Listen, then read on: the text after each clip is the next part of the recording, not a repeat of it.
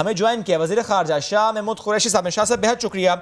शाह साहब, हमारे सिक्योरिटी के इदारे जिस तरह से बेहतरीन काम कर रहे हैं और जिस तरह से हमारे पास सब्सटैंशियल प्रूफ्स आते हैं, फिर हम वो प्रूफ्स दुनिया को दिखाते हैं। हमने सिक्योरिटी काउंसिल में भी आवाज़ उठाई। हमने हर जो फॉरम है, वहाँ पर आवाज़ उठाई कि ये भारत के मजमूम इरादे ही नहीं है, ये उसके प्रूफ्स हैं। भारत जिस तरह कोशिशें करता है, हम उसके डोजर्स पेश कर देते हैं। लेकिन इसी सिलसिले को हमने इसका तसलसल रखना है, क्योंकि भारतबाज नहीं आता तो इसका मतलब है इन्हें काउंटर करना पड़ेगा बार बार करना पड़ेगा। सर, मच वाकिया। इससे मुतालिक मैं जानना चाहता हूँ आपसे, क्योंकि ये तो ऑब्वियस है कि दुश्मन भारत है। सर, कुछ हमारे पास इस सिलसिले में मालूम इकट्ठी हुई, जो कि हम वाकई फिर बता सकें, दुनिया को दिखा सकेंगे कि बिहाइंड दिस इट्स इंडिया आपने सही निशानदेही की है, और आपको याद होगा यही गुजारिशात मैंने चौदह नवंबर को एक प्रेस कॉन्फ्रेंस के ज़रिए पेश की थी जिसमें एक डॉसियर हमने पेश किया।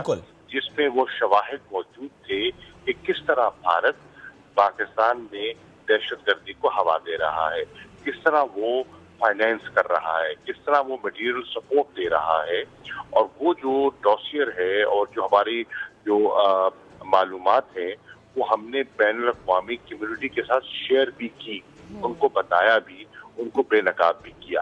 पाकिस्तान ने भारत को बेनकाब किया और फिर उसके बाद आपने देखा कि ईयू डिस इन्फो लैब ने भी भारत का जो झूठा बयानिया है फेक वेबसाइट्स के ज़रिए फेक एनजीओ के ज़रिए फेक पार्लियामेंट्री ग्रुप्स के ज़रिए हम्म। उसको उन्होंने उजागर किया बेनकाब किया।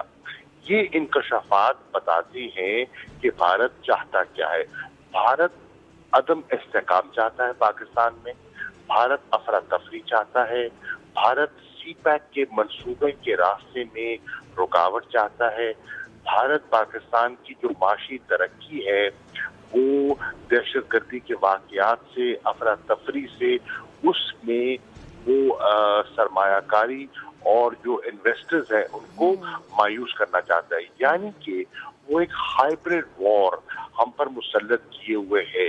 हमें इसको समझना है और इसका मुकाबला करना है। और इसका मुकाबला अफवाज पाकिस्तान तो कर रही है लेकिन पूरी कौम ने उनका साथ देना है और हम्म। अल्हम्दुलिल्लाह कौम साथ दे रही है। मेरी गुजारिश होगी ऑपोजिशन की क्यादत से कि इस वक्त जो बैरूनी पाकिस्तान पर खतरात हैं उनको हम्म। सामने रखते हुए वो अपने जाती एजेंडे को कुछ अरसे के लिए बलाय ताक रखते हुए हम्म। कौमी मफादात पर और कौमी नुक़ नज़र को तरजीह दें सही। ठीक। अच्छा शाह साहब, आप अफरा तफरी की बात आपने की कि भारत प्रोपेगेंडे कर रहा है, कोशिशें कर रहा है, हर्जा सराय की। भारत सैकड़ों जाली एनजीओ के ज़रिए मुल्क में अफरा तफरी फैलाने की नाकाम कोशिशें कर रहा है। कुछ कोशिशों में वो कामयाब भी होता है। हम इसके काउंटर में क्या कर रहे हैं? देखिए, हमने दो तीन चीज़ें की है। नंबर एक, हमने इंटरनेशनल कम्युनिटी को भारत का असली चेहरा दिखाया है।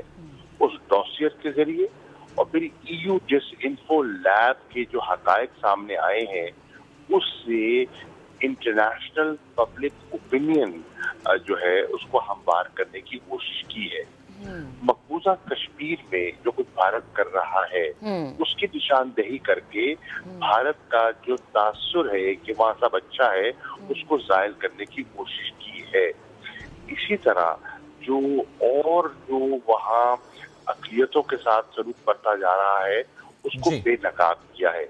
और आप देखें कि अब इंटरनेशनल मीडिया इंटरनेशनल जो जराए अबलाग हैं वो भारत पर खुलकर तनकीद कर रही हैं और आज भारत के अंदर से आवाज़ें उठ रही हैं कि भारत का जो इंटरनेशनल इमेज है वो मुतासर हो चुका है भारत की न सिर्फ़ मीशत मुतासर हो रही हम्म। है उनका इंटरनेशनल इमेज भी मुतासर हो रहा है और कश्मीर जो कई दहाइयों में खटाई में पड़ा रहा मसला है कश्मीर हम्म। आज वो दुनिया के सामने उजागर हो चुका है और वो जिसे कहते हैं ना सेंटर फोल्ड और फ्रंट पेज न्यूज़ बन चुका है। जी। शाह साहब अभी कुछ देर पहले आपने जिस तरह पीडीएम से मुतालिक बात की शाह साहब जो नादानी कर रही है ऑपोजिशन जो नादानी पीडीएम की तरफ़ से की जा रही है हम हर जलसे में देखते हैं जिस तरह इदारों को तनकीद का निशाना बनाया जाता है नाम लेकर तनकीद का निशाना बनाया जाता है मोदी की जबान बोली जाती है। शाह साहब आपको नहीं लगता कि ये वो वक्त है कि ठीक है वो नादानी कर रहे हैं बट हैं तो वो पॉलिटिशियंस ही हैं तो वो पाकिस्तानी ही उनको समझाया जाए उनको मेज़ पर बिठाया जाए उनको ये बावर कराया जाए कि इस वक्त अगर आप ऐसी जबान का इस्तेमाल करेंगे अगर इदारों को तनकीद का निशाना बनाएँगे तो नुकसान पाकिस्तान का होगा, नुकसान हर पाकिस्तानी का होगा। जी, बिल्कुल आपने सही कहा, और यही गुजारिशात मैं बारहा करता आया हूँ, और पीटीआई की क्यादत ने भी कहा है कि देखिए, अगर आपके कोई जायज़ मसाइल है, अगर आप कुछ इसलाहत चाहते हैं, अगर आप, आपका मतब नज़र शफाफ इंतबात है तो आइए बैठ जाते हैं देख लेते हैं कि मौजूदा कवानीन क्या है और उनको बेहतर कैसे किया जा सकता है। अगर आप चाहते हैं शफाफ इंतसाब का अमल हो तो आइए बैठ जाते हैं और भी बात की जा सकती है। शाह साहब जी जी प्लीज़ प्लीज़ प्लीज़ अमल में रुकावट बन जाए। सही। शाह साहब आपने बहुत अच्छी बात की। आ, ये बात सिर्फ़ टीवी शोज़ में हो रही है या बाजाबता तौर पर पाकिस्तान तरीके इंसाफ ने कोई वक्त भी भेजा हो कोई रबता भी किया उनको इनवाइट किया उनको आ, कहा हो क्या ये बैठते हैं बात करते हैं इस पर। ये तो बहुत अच्छी बात कर रहे हैं आप। देखिए बाकायदा तौर पर अब आपका ये प्रोग्राम जारी है ये जो आप नशर फरमा रही हैं ये उनके कानों तक बात पहुँच रही है हमारा मौके पहुँच रहा है हमारे हमने दो मरतबा उनको दावत दी है। हमने इंतबी असलाहत के लिए आ, स्पीकर के फोरम से दो दफ़ा दावत दी है और वो तशरीफ़ नहीं लाए। जब मुल्क में कोरोना की दूसरी लहर आई हमने उनको दावत दी कि आइए मिल बैठकर हम एक मरबूत हमत अमली अपनाते हैं जिससे इसका मुकाबला किया जाए। वो तशरीफ़ नहीं लाए।